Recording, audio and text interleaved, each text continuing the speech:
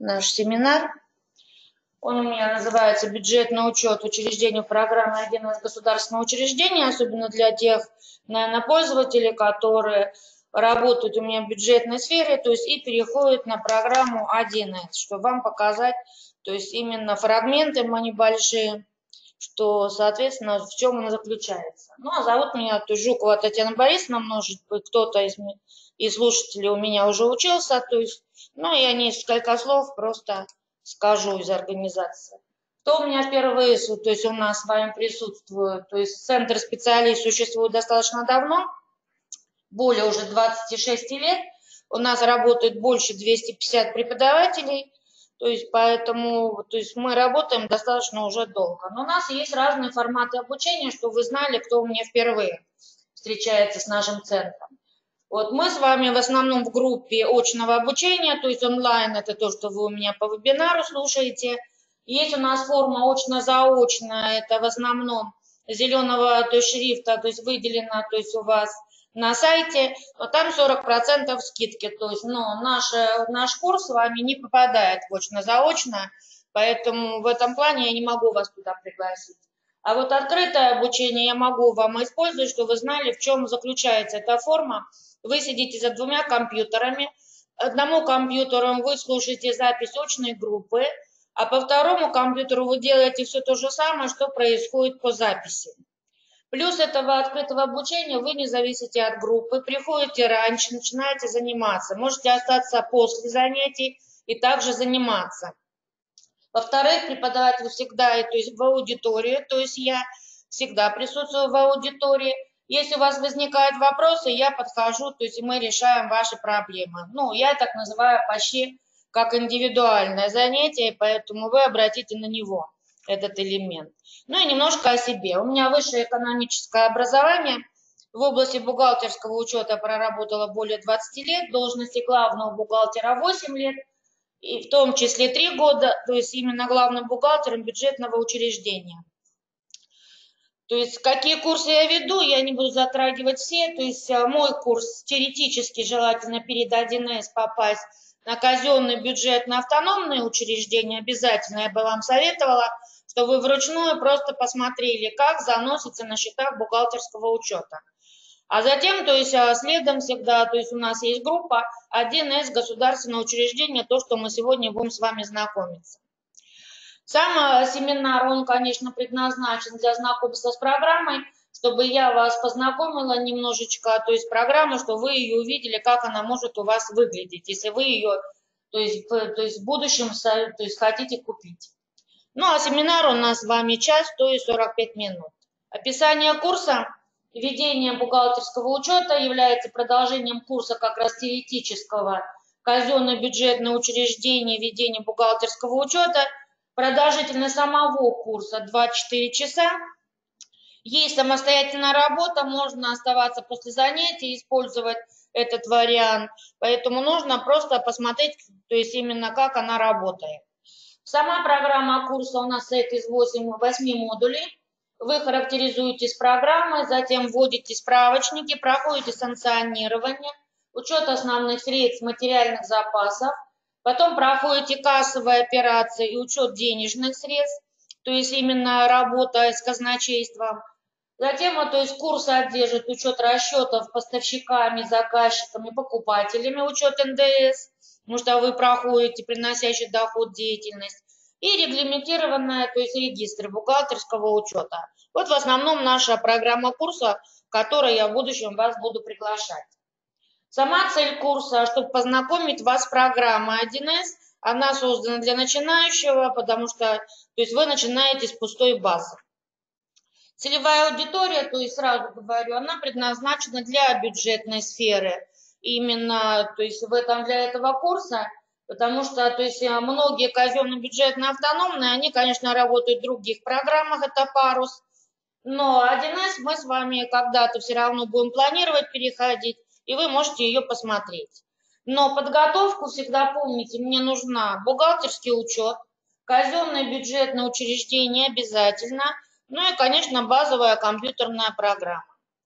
Куда нам пойти с вами дальше после этого курса, если вам будет недостаточно? Вот расчеты с персоналом по оплате труда, ну, я уже записала 18-19 год, потому что мы на пороге стоим. И вот часто у меня в моих группах появляются слушатели, ну, в рыночной экономике программа «Один из зарплата». Но вы всегда должны помнить, что вы у меня работаете в бюджетных учреждениях. И вам нужна программа «Один из зарплаты» и кадры бюджетного учреждения. Вот то, что я хотела вам просто посоветовать. Если интересует, можно посещать просто семинары закупок товаров, потому что бюджетная сфера, то есть сильно у нас курсы не распространены. И вот еще один курс есть, тоже пригодится бюджетной сферы. Это вот главный бухгалтер управления бухгалтерией. Где находится цепочка, то есть в наших курсах, я вам показала вот как раз вот на экране сейчас обведу все наши с вами курсы, которые здесь присутствуют, именно бюджетной сферы, и вы можете это использовать. Но я сразу не буду в конце семинара, а в начале скажу. Я вам приглашаю вас сразу на курсы, но Всегда помните, группы они, то есть стали менее набираемые, поэтому сама как группа, она будет один раз в год. Это вот 13 февраля, то, что у меня ниже написано, вечер с 18.30. Все остальное пойдет в открытое обучение. Вот первый вариант, то есть вот можете под запись себе написать, потому что можно попасть еще дополнительную группу, поставили мне 3 декабря – утро день с 10 до 17.10. Следующее открытое обучение будет 15 января, то, что у вас сейчас на экране изображено, тоже с 10 до 17.10. Это интенсив, это рабочие дни. Плюс э, хороший, потому что в этих группах у меня есть курс, который имеет количество часов 32 часа. И вы все остальное можете работать просто бесплатно. Поэтому я вас приглашаю в открытый, ничего страшного в этом нет. По окончанию курса вы у меня получаете удостоверение повышения квалификации, удостоверение на иностранном языке после окончания курса попадает одновременно в личный кабинет, то есть именно то есть ваш на сайте, автоматически сертифицированы, так как когда-то мне пришлось сдать, то есть ЦСО, то есть по этому курсу, ну, благодаря вот этого моего экзамена, то есть очень трудоемкого, потому что мне пришлось теоретический курс все передать в компанию 1С свой. То есть вам надо будет выдавать дополнение свидетельства, ведение бухгалтерского учета, то есть вы то есть, получите у меня еще свидетельство 1С. Ну, такие у нас с вами элементы. Именно касаемо сайта. Ну, я начну просто с программы, потому что то есть, у нас с вами не сильно много времени для этого что вы могли увидеть. Я буду вам показывать в заполненном виде, так как, чтобы нам время сократить, если кому-то кому нужна информация, значит, то есть пишите себе, то есть под диктовку. Первое, что вы должны сделать, я буду поэлементно просто идти, вы должны пойти, то есть в программу, то есть раздел администрирования. Если у вас есть ограниченные права, вот я сейчас как раз нахожусь в нем, Начинаете просто вот э, рядом панели навигации, у вас есть настройка пользователей прав, потому что права у вас ограничены, и вы можете этот вариант просто использовать для себя. Ну, сейчас вот мы зайдем, то есть она подумает у нас с вами программу. Ну, будем надеяться, что она быстро будет думать. То есть откроется вот такое окно у вас, вы просто заходите, то есть пользователи, открываете, я их не буду заносить, то есть я просто покажу, где ограничиваются права. И через кнопочку «Создать».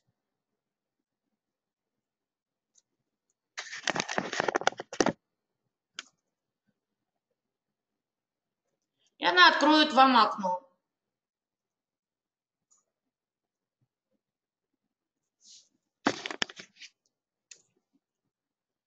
Заносится просто полное имя, физическое лицо и имя пользователя. И вы можете просто для себя использовать вот этот вариант, который то есть, применяется здесь. Я не буду заносить, потому что, как бы, чтобы она долго нам здесь не думала. Если есть внешний пользователь, тогда вот ниже просто вариант. Такой вот можно использовать. Это первый как бы ваш этап. Потом, то есть после того, как вы сделали ограничение прав, вот теперь то, что касается, наверное, самих бухгалтеров. Здесь же в разделе администрирования, вот где удаляются ваши все документы, это поддержка и обслуживание называется. И вот здесь видите ссылочка синенькая удаление помеченных объектов. То есть вы первоначально пометили на удаление, допустим, какой-нибудь элемент, ну давайте вот я для образца покажу, вот или значочек вверху, пометили на удаление, то есть здесь она удалит. Ну, я полностью удалять не буду, но чтобы, то есть вы видели, то есть информацию. Она, видите, с крестиком вам так вот поставит. А потом уже идете администрирование, поддержка, обслуживание, удаление помеченных объектов. И говорите автоматическое удаление удалить. И она будет удалять. Но я время на это не буду тратить, для того, чтобы нам с вами сохранить, то есть время. Затем здесь же, вот если вам нужно создать просто то есть предыдущие периоды нужно поставить запрет. Это тоже, вот смотрите, администрирование, поддержка обслуживания, регламентные операции. И вот здесь, видите, есть дата запрета изменения. Вы галочку как бы ставите, идете в настройку, устанавливаете, допустим, для всех пользователей вашу дату, которая вам необходима, и в ту предыдущую отчетность у вас не будет просто заходить. То есть другие пользователи не смогут ничего просто исправить. Вот это с этим связано просто дата запрета. Изменения сейчас не может, чтобы вам было видно. То есть это находится в регламентных операциях, что вы не забывали. Ниже здесь же, здесь же у вас есть адресный классификатор. То есть поэтому вы можете загрузить с сайта 1С э, справочник ФИАС, то есть э, именно федеральный информационно-адресный справочник. А потом просто заходите вот здесь в ссылочку «Загрузить классификатор» открывается ваше окно, вы ставите, то есть регионы, которые вам нужно. Если вы ее скачали уже в компьютер, тогда берете из папки на диске. Открываете тот компьютер, который вам нужно, ее сюда загружаете. И говорите загрузить адресные сведения. С этого момента программа будет знать все ваши адреса. То есть поэтому здесь используйте этот вариант. Другой вариант, вот ниже еще есть, Другие классификаторы, может быть, пригодится. Здесь у вас вот загрузка оков. Опять же, нужно скачать просто с интернета файлик, то есть XML оков. И потом просто выбрать файл его и загрузить просто в базу. Вот видите, мой компьютер открылся, и вы можете сказать загрузить, и он у вас загрузится. Вот еще один элемент, который вам нужно в начале именно вашего варианта, то есть когда вы его загружаете. Здесь же есть, вот можно поставить галочку «Автоматическая проверка контрагентов». Потому что она должна проверять, если особенно кто имеет приносящий доход деятельность, вы должны проделывать просто проверки контрагентов, чтобы она легко выгружала то есть декларацию по НДС. Ну вот это первый этап, то, что вы должны сделать администрирование. Но в администрировании оно может быть у вас в запрете – то есть вам нужен все равно какой-то доступ от администраторов, что вы могли сюда заходить. Потому что здесь начинается ваша настройка. Второй элемент, который тоже в администрировании, видите, находится. Здесь у вас есть, вот видите, ниже план счетов с левой стороны и план счетов, единого плана счетов бухгалтерского учета. Вот он наш с вами план счетов. Как с ним, допустим, работать? Допустим, вам нужен посмотреть счет, то есть есть ли он у нас наличие или нет. Вы прямо на клавиатуре набираете 302, то есть кредиторскую задолженность, говорите «найти», и она вам находит тот счет, который вам нужен. Видите, здесь субконта аналитика уже подключена, то есть в вашем плане счетов. Если нужно вернуться обратно в план счетов, видите, здесь изображение лупа с крестиком, вы ее отменяете, и она попадает в ту строчку, где вам необходимо. Так любой Счет вы можете просто здесь посмотреть. Ну, а я покажу то, что обычно при покупке программы, то есть у вас уже заведено. Вот здесь, смотрите, есть журналы, они уже будут готовы, они с базы поставляются. Виды субконта, они тоже поставляются с базы, когда вы ее покупаете. И потом следующий элемент, который сейчас я немножко увеличу, чтобы было видно, классификационные признаки счетов, КПС, другими словами. Вот когда вы вручную, допустим, ввели, я просто обрисую, это ваши первые 17 знаков, которые у вас в теории или вручную были нулевые, а в программе вы их просто заносите. Это называется классификационный признак счетов. Его открываете, у меня сейчас будет заполнена эта группа, заполняла на занятиях. Ну, допустим, первый вы должны занести КРБ. Я сейчас открою, чтобы вам было видно. Вы указываете показатель, с какого момента вы его действуете, с какого момента вы его ведете в базе. Разделы не заносятся. Его, то есть называется ваша деятельность по уставным документам, присваивается как произвольный, нулевой. И с этого момента, то есть программа уже будет его заносить. Сюда же заносится для финансовых результатов, видите, там код бюджетной классификации. Вы также его заносите, также используете, видите, нулевой. Ну, давайте вот я один вам еще открою, КРБ, код расхода бюджета, фонд оплаты труда, чтобы вы посмотрели. Потому что здесь по-другому это заносится. Выбирается обязательно код показателя, потому что они у меня уже занесены.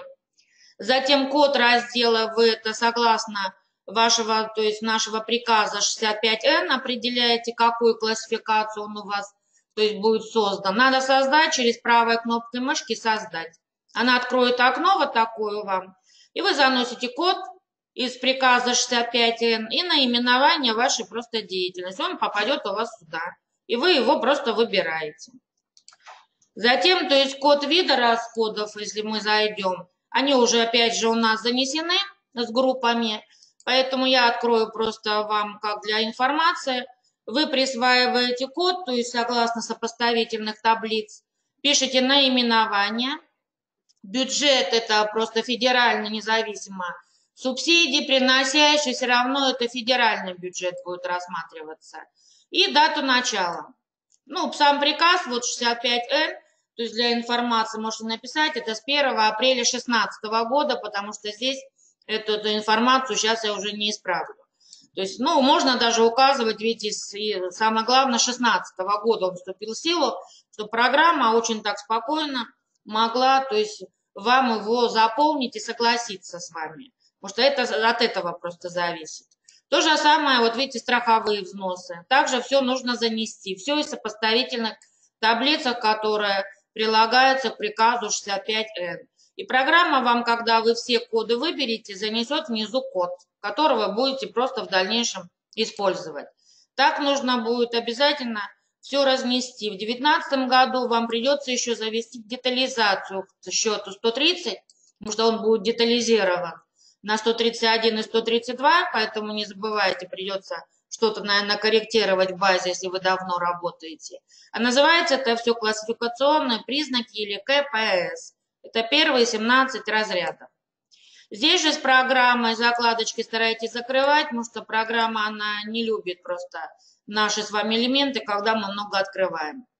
Здесь есть аналитические коды, если будете заносить. Структура рабочего плана счетов, оно поставляется с программой. Он, видите, для каждого организации своя. Вот я сейчас, видите, вам выделяю. Поэтому можете всегда увидеть. Затем здесь же есть соответствие, то есть счетов, то есть справочник. Вам будет наглядно просто видно. Ну вот есть рабочие счета, но они заводятся при заполнении просто уже документов. Ну, на каком-то фрагменте я вам немножечко покажу сегодня. Внизу есть маленькие фрагменты вот типовых операций, которые присутствуют. То есть у нас с вами, то есть поэтому они уже поставляются просто с программы. И здесь же вот я потом перейду сюда же, можете написать если вам, вот вы ввели только ручной, то есть бумажный вариант, а вам нужно уже занести в базу, существует свой помощник ввода начальных остатков, поэтому раздел администрирования, начальные остатки, помощник ввода. Нужно загрузить и предыдущих, то есть файлов, значит придется идти просто по этому пути. И вот первый этап после этого, как только вы прошли справочники через раздел администрирования, вы начинаете, то есть у меня использовать параметры учета, она здесь же находится. Вот администрирование, видите, настройка параметров учета. Вы ее открываете. И вы должны мне пройти все ваши реквизиты. Я вот вам советую обязательно учет по ИФО, обязательно, чтобы она вам вела источники, то есть финансового обеспечения. И если у вас есть подразделения обособленные, тогда учет по подразделениям надо использовать. Ну и оформление провода, конечно, нужно. То есть этот вариант применять, поэтому в этом плане будете это использовать. А внизу применены вот структура уже РПС, рабочего плана счетов, которая поставляется самой программой. Вы должны вот эти закладки все пройти. Потом услуги и работы. Он у меня заведено, видите, плановая цена уже. Денежные средства обязательно. Галочку «Ввести количественный учет денежных документов» обязательно, если вы используете, а мы точно используем с вами. Если вот будет оплата платежными картами, а у нас ну, присутствует в бюджете, я думаю, что пока мы такой вариант не используем, хотя может такой вариант появиться, и ваш покупатель, особенно приносящий доход деятельности, будет рассчитываться платежными картами. Но тогда вам нужна онлайн-касса, обязательно. Не забывайте про это. Платежные карты тоже относятся именно сюда. Затем вот учет и отчетность. Идет у нас с вами вариант. Здесь выводить раздельные итоги. Обязательно нужно прописать, потому что отсюда начинаются ваши отчеты. Обмен данными вот здесь есть, то есть нужно пройти, просмотреть. И специальные подсистемы. Вот это называется настройка параметра учета. Это самое первое, когда вы начинаете работать с базой. А потом только вы идете в заполнение организации, где находятся наши организации заполнения. Раздел «Нормативно-справочная информация» и ваша строчка, то есть именно в панели навигации организации. Но опять же, она у меня заведена, то есть я вам просто покажу основные элементы. Вы должны просто ее завести. Все ваши реквизиты по вашим данным, видите, учетный номер, ИНН, КПП. Затем спускаетесь вниз, программа она изменилась, учредитель заносите. Все ваши реквизиты, прямо галочку открываете. Налоговые органы, когда открывается, то есть идет вот через эту кнопку, видите, все регистрации в налоговых органах. Говорите «Создать», откроется ваше окно. И вы занесете все данные ваши налоговые, которые вы зарегистрированы. Потому что вам, то есть они обращают на нас внимание. Закрыли регистрацию. То есть это у нас с вами были налоговые органы. Потом вы идете ниже, видите, здесь ответственные лица. Здесь окон достаточно много, поэтому здесь старайтесь использовать. Вот смотрите, если я скажу создать именно через элемент, она мне откроет другое окно, вот такое. Если мне нужен сотрудник, я его заношу, подразделение заходим, открывается другое окно, вы его создаете через создание, потому что окон очень много у нас. Видите, то есть сразу появилось. Заносится наименование. Если оно уже обособленное, значит используйте этот вариант. Выбрали, то есть занесли. Должность также зашли в кнопочку выбора через создание, то есть занесли должность. Здесь ничего страшного, здесь одна строчка у вас есть.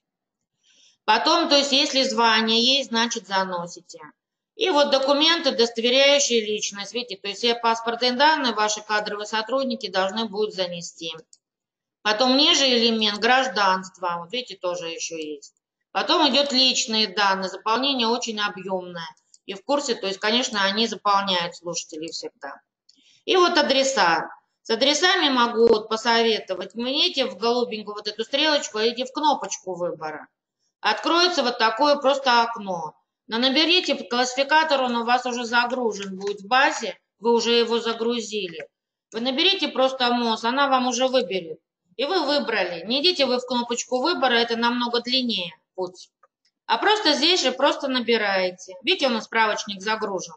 И ФИАС у вас внизу уже есть. Нужно проверки, то есть вот можно открыть проверку. Ну, она мне сейчас скажет, устарела, нужно заново.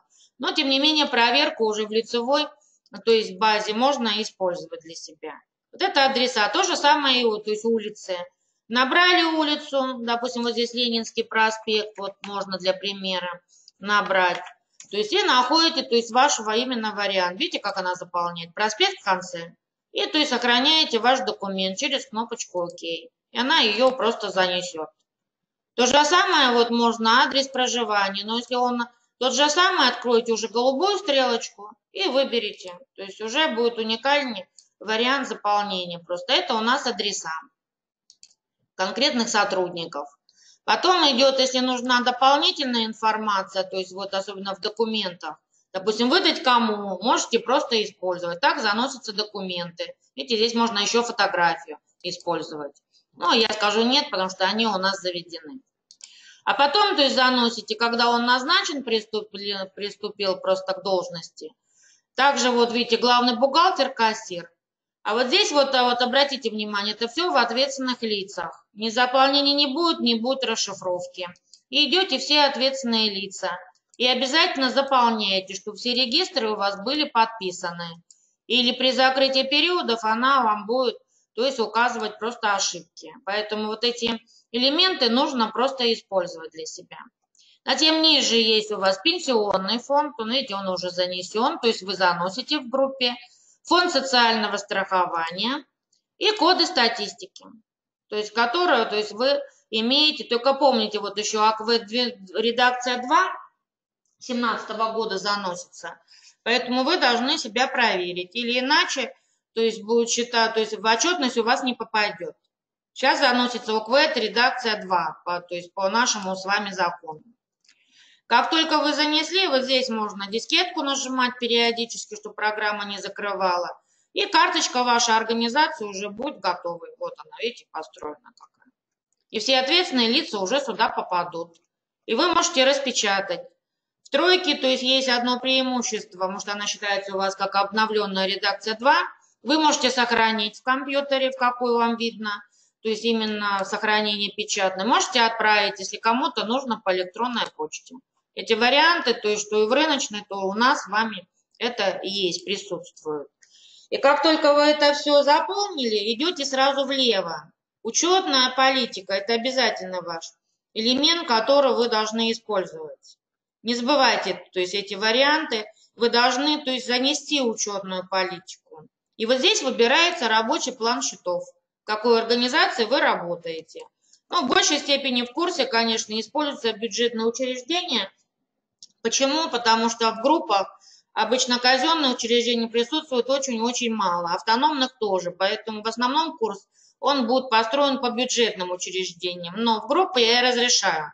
То есть всегда, какую вы работаете, ту вы можете использовать для себя. И вам нужно пройти все просто закладочки. Видите здесь. Настройка РПС идет, субсидии.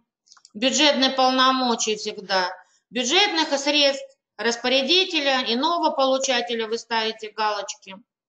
Производство, если используете, обязательно распределять. НДС, когда вы используете, и налог на прибыль. И как только вы занесли, то есть вы уже ставите записать. Я вот вам для примера сейчас покажу, как учетная политика заносится. Вот, допустим, преддверие у нас 19 год. Вы ставите 0101 уже 19 года. Проверили все закладочки, занесли их и говорите «Записать». Она откроет вам вот такое окно и скажет «Окей». И с этого момента вот здесь появится новая строчка у вас. Видите, там 19 код. И она уже будет его знать, что у вас занесена учетная политика. Изменилось что-то, поскорректировали. Вы должны обязательно занести, не забывайте. Дату ставите, записать, и должно появиться у вас здесь вот в правой колонке. Здесь же вы должны занести лицевые счета.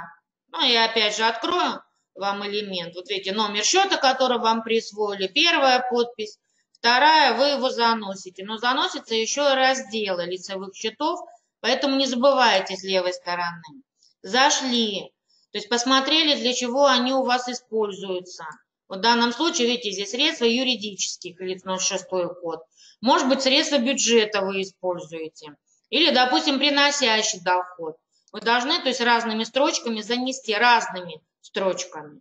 А потом внизу уже добавляете код финансового обеспечения.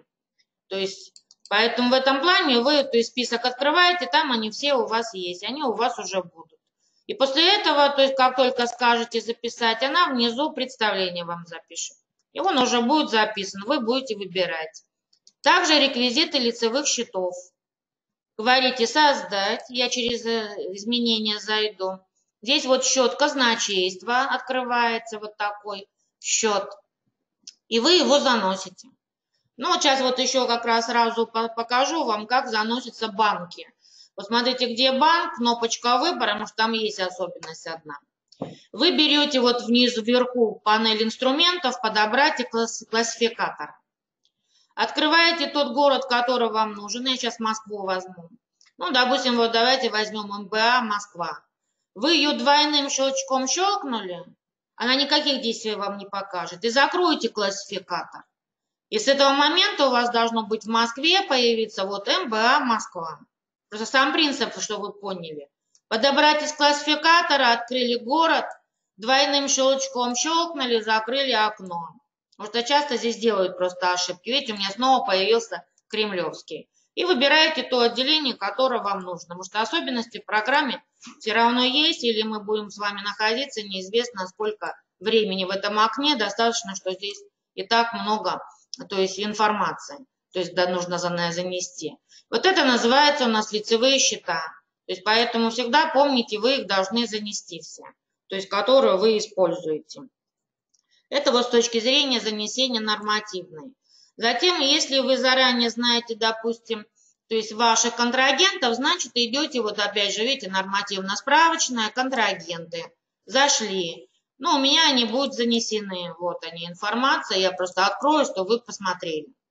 Заносятся просто все данные. Видите, поставщики, все, все подробно. ИНН, КПП, то есть, ну, вот здесь она у меня уже сделала проверку, видите, уже не действует КПП данной организации. Адреса обязательно, то есть вам нужно занести. А потом идете, говорите, сохранить, вот здесь дискетка, и идете в банковские счета. И идея повторяется, как вы по своей организации занесли. Он должен быть банковский. Заходите в банки, выбираете, какой, то есть вы применяете. У этого поставщика в реквизиты будут данные занесли банковский, здесь же договоры есть у вас. Ну, давайте вот здесь я вам занесу создать. Открывается новое окно, можно отсюда его заносить. Видите, с поставщиком, наша организация, контрагент. Вот здесь счет контрагента выбрали. Если долгосрочно, поставите галочку. Потом вид обязательств. Это заносится, то есть именно, то есть самостоятельно. То есть это не база не поставляется. Видите, то есть занесен договор. Ну, если открыть вот через изменения, Ничего сложного здесь нет. Выбрали договор. Ставите дату. Ну, в данном случае я поставлю 1 января 2018 год, номер один. А потом спускаетесь вниз, где вот наименование, и выбираете этот договор. Все, договор у вас будет уже записан. То есть он уже появится с этим контрагентом. То есть вот так можно взаимосвязывать просто контрагенты уже самими договорами. Перешли в первую строчку, сказали записать и закрыть, и он у вас появится. Поэтому всегда, то есть об этом помните, это в контрагентах. Здесь же заносятся виды затрат обязательно, направление деятельности, если они у вас разные особенно. Затем ниже справочник сотрудники, они будут заносить, заноситься, вот где я вам уже показывала, сотрудников, должности, занесены подразделения, Места хранения тоже обязательно. И центры материальной ответственности. Если есть, э, ну, допустим, варианты, то есть именно другие какие-то, прямо идете последовательно, по, то есть по справочникам, что вам нужно просто здесь занести. Старайтесь закладки их закрывать. Видите, они маленькие закладочки у вас превращаются. И как бы вы их все равно не используете, вариант. Вот такой вариант связан у нас с показателями. Теперь следующий, то есть ваш элемент, то есть который я бы хотела, чтобы вы сразу занесли, это называется шаблоны формирования основных средств. Но в последних релизах, то есть 1С, они отнесли его в раздел основных средств. Если раньше было в учетной политике, то теперь, то есть у нас с вами основные средства. И прям спускаетесь вниз, вниз, где смотри также. Там у вас есть шаблоны формирования инвентарных номеров. Ну, он у меня опять же занесен, я его открою. И вы его заносите. Вот видите, там, то есть через добавить основной, открываете кнопочку, здесь все есть. Ну, допустим, если надо код источника, единичку, видите, на мне сразу инвентарный номер не соблюдается. Нужно тогда исправить просто 13. 13, потому что в сумме она складывает. А так, когда открываете просто сам, то есть здесь по порядку есть синтетические, аналитические источники, амортизационная группа. Самое главное, чтобы совпала длина с вашим порядковым номером. И записать и закрыть. Ну, а я просто закрою просто окно. Называется основной. После того, как вы шаблоны сделали, вот еще в вводе начальных остатков есть особенность, что вы знали, потому что долгое время мы не используем программы, а потом нам приходится начинать с ввода начальных остатков. Так, это вот раздел администрирования. Спускаетесь вниз, начальные остатки, я уже вам говорила сегодня, помощник ввода начальных остатков. и его открываете. Ну, у меня по программе, то есть он будет уже заведен, то есть а я вам покажу сам принцип, как заводится. Вы находите тот счет, который вам нужен, и вот эта кнопочка «Ввести остаток по счету». Просто нажимаете. То есть любой остаток сюда, она откроет вам новое окно, и вы начинаете заполнение.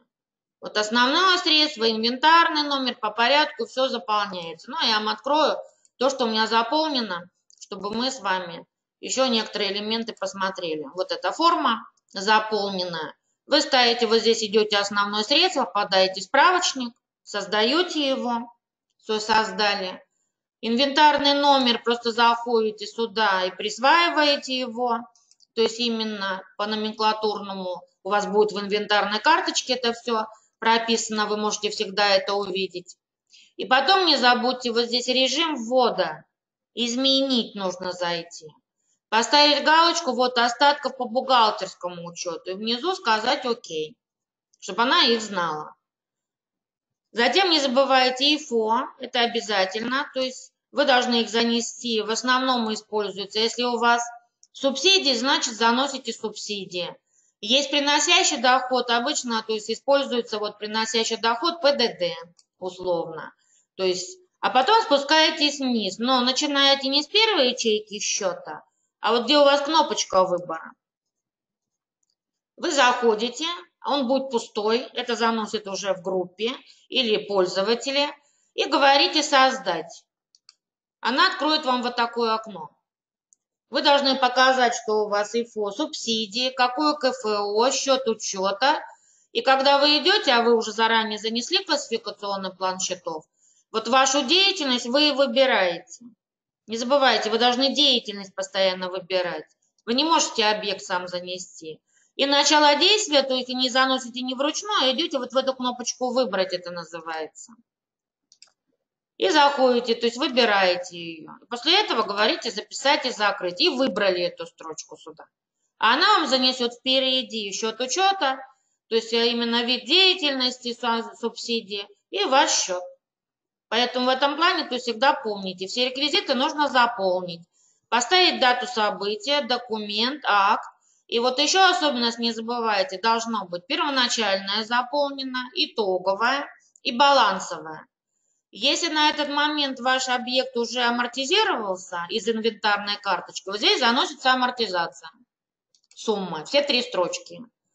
Если вы до трех, вот еще видите, до трех, а в этом году у нас уже до 10 тысяч рублей, если у вас объект за балансовый счет, значит здесь появится сумма. А потом идете в амортизацию. Ну, у меня, видите, большая сумма, больше 100 тысяч, поэтому начисление амортизации. Способ линейный, здесь все есть. И указываете срок использования. Говорите обязательно начислять амортизацию.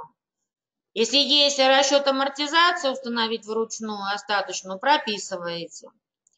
И внизу указываете счет затрат. Здесь зависит от вашего варианта.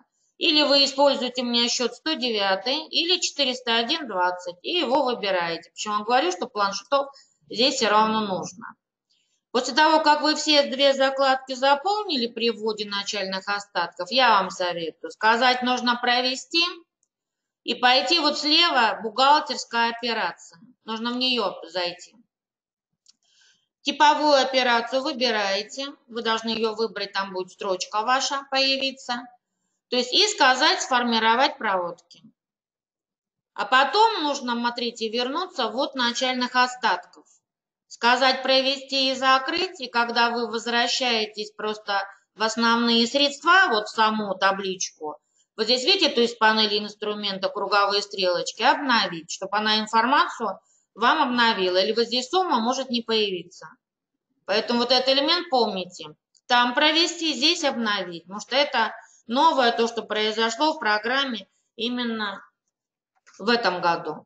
Поэтому вы старайтесь это использовать, потому что она, то есть, то есть 1С, они меняют, обновляют программу, они сейчас на нее просто обратили внимание. Надо за балансовые счета, заходите за балансовые, находите тот счет, который нужно, ввести остаток по счету. Вот так заносятся остатки по счету. После того, как вы их завели, то есть второй этап я хотела бы, чтобы вы зашли, планирование, санкционирование.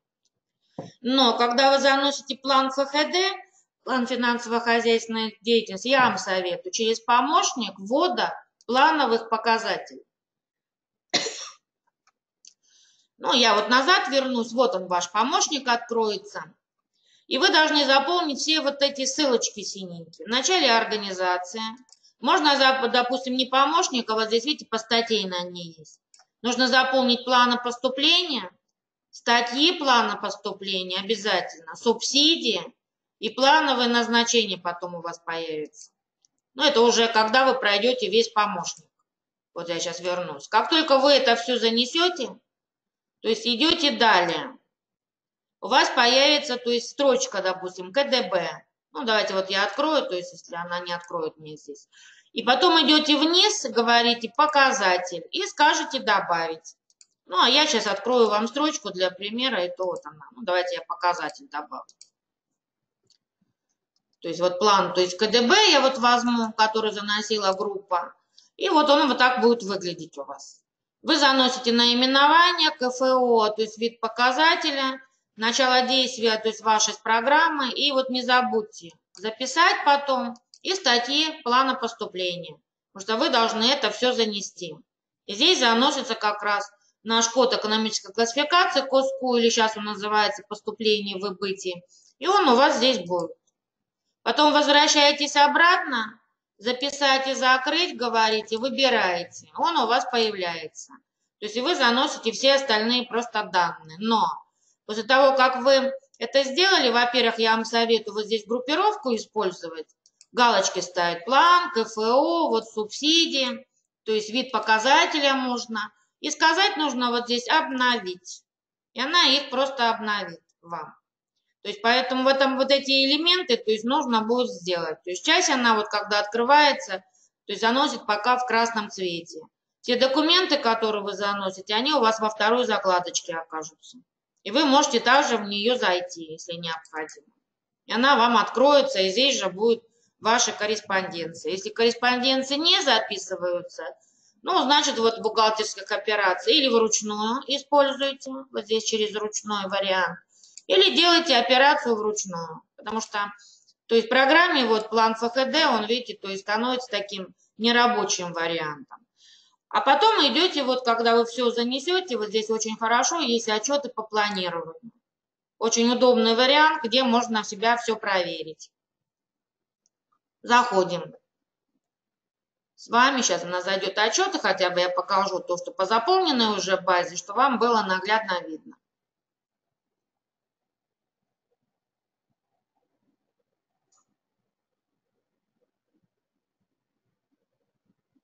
Ну, желательно по компьютеру, чтобы у вас был сильный, с большой памятью, потому что программы, они достаточно долго грузятся в редакции 3.0. Вот здесь видите сводные данные, когда вы будете уже заносить все данные, устанавливается вот период, я возьму 17, такая группа, в 17 году у нас, то есть училась здесь, я для примера взяла.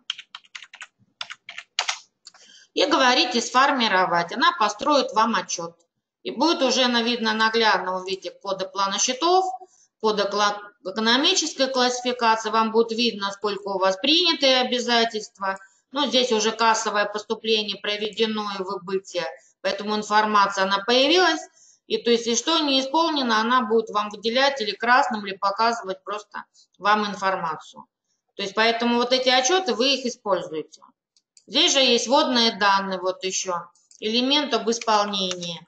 То есть установили период, здесь не так сложно это сделать, чтобы вы могли использовать. Здесь самое сложное заполнение в программе. И она вот создает, видите, два объекта внизу. Вот именно запланировано, сколько информация вся будет дана на лицо. И денежные средства, которые у вас есть на счете вашем лицевом. Это вот а, отчеты планирования. В денежных средствах, я сейчас вот пройду, Здесь в основном все, то есть платежные поручения через расчетно-платежные документы заходите всегда. Ну вот я открою один, что вы посмотрели. То есть всегда помните об этом, то есть заносятся все данные, расшифровка под платежа обязательно, а потом идете, то есть бухгалтерские операции. Выбираете типовую операцию, не забывайте про это, и сформировать проводки. Если она спросит информацию, тогда идете в первую закладку «Дополнительные реквизиты» и даете ей информацию. Дополняете, снова говорите «Провести», и она все проводит, и проводки она уже вам заполнит. Все, все абсолютно, которые связаны с этим счетом. Но потом нужно вернуться в первую, на первоначальный документ и сказать «Провести» и «Закрыть». Ну, вот такие элементы нужно обязательно просто обязательно сделать. Вот здесь есть еще кассовое поступление информации. Тоже принцип такой же. Заполняете, идете в бухгалтерские операции, заполняете две закладки, говорите сформировать проводки. Она все вам сделает. Это то, что касается то есть расчетно-платежных документов. Если нужна касса, идем в кассу организации.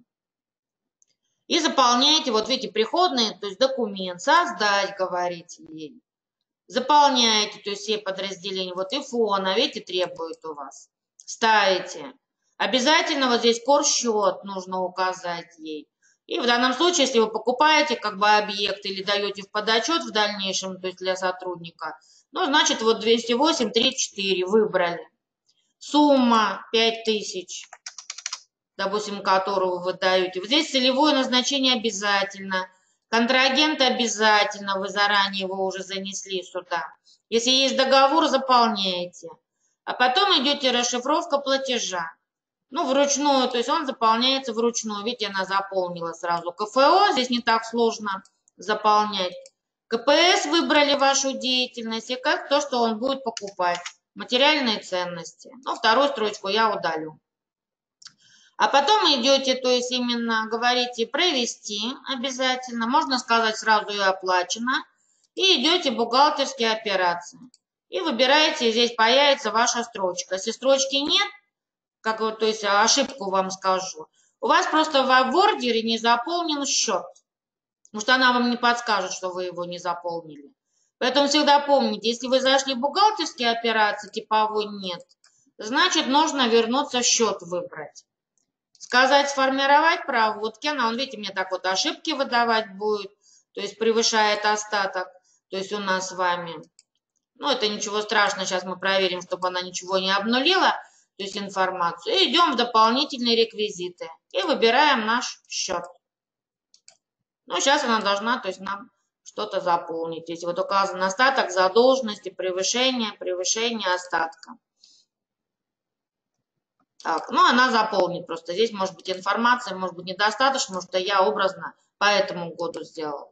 И она должна вам обязательно все заполнить. Информация, может быть, еще влиять будет время. Вот еще один вариант, который она применяет просто. А потом она уже, то есть, запишет вам как документ. Ну, сейчас вот она проводки не сделала, поэтому пока с черного цвета. Здесь же, если нужно будет а, отчет кассира, вот он, отчет кассира, он также у нас называется. Заходите, когда говорите создать отчет кассира 52Н. И она вам с вами его заполнит. Устанавливаете дату, говорите обновить. Ну, у меня сейчас не будет, вот видите, то есть 5000 появилось здесь. И вот он уже готовый, если используете кассу. Это с точки зрения кассы. Если нужны материальные запасы, идем материальные запасы все приобретения через поступление МЗ. И говорите «создать». Заполняйте все реквизиты. Единственное, то есть вот а, как подсказку, если у вас фактические затраты идут, тогда то есть не забывайте, в бухгалтерских операциях, то есть конкретно, когда вы убираете типовую операцию, допустим, при поступлении по договорам, она вам заполняет. Вот здесь дополнительные реквизиты, внизу написано что вы используете 106 счет. Если как бы у вас нет доп. расходов, тогда напрямую 105. Если есть, вот здесь нужно показать ей, что у вас 106 используется. Находится это в бухгалтерских просто операциях. Ну, вот такой элемент, то есть по материально-производственным запасам. И смотрите, какой документ вам нужно. Если вам нужны поступления работ услуг, значит создаете его объект как документ.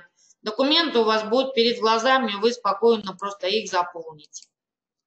Надо посмотреть оборот на сальдовую ведомость. Вот она у нас вверху прямо есть, видите? Устанавливаете период, я возьму 1 января по 31 и формируете. Мешают настройки, можно убрать.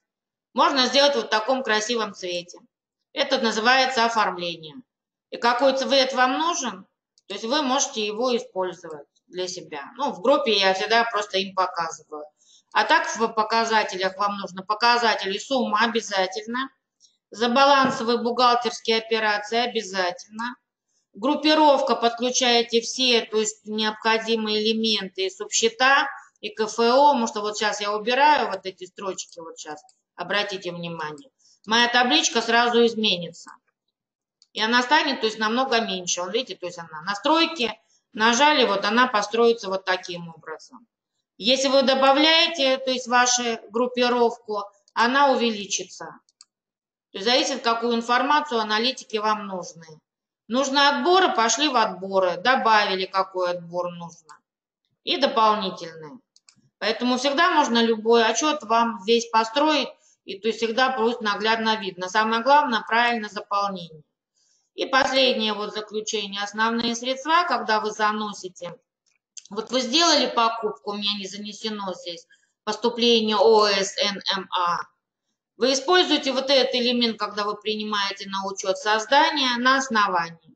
И здесь есть принятие на учет. И на основании покупки она попадет просто в ваш помощник. И вы будете просто его использовать для себя. Поэтому в этом плане, да, нужна отчетность, тогда учет и отчетность.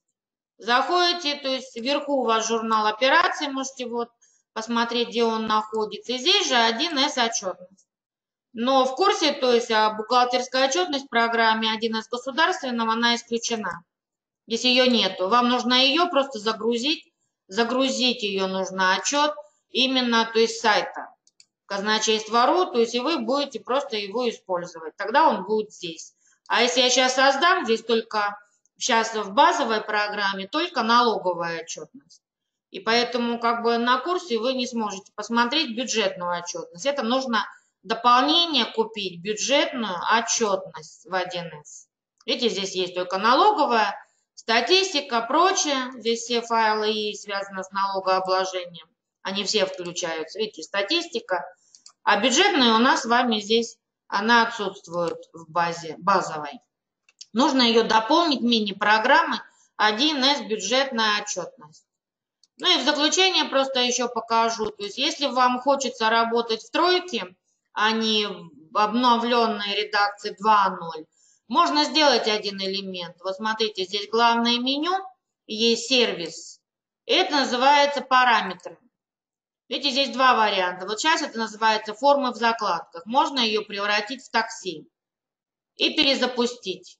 Сказать, завершить работу. И она сейчас вам откроет именно форму, связанную с такси.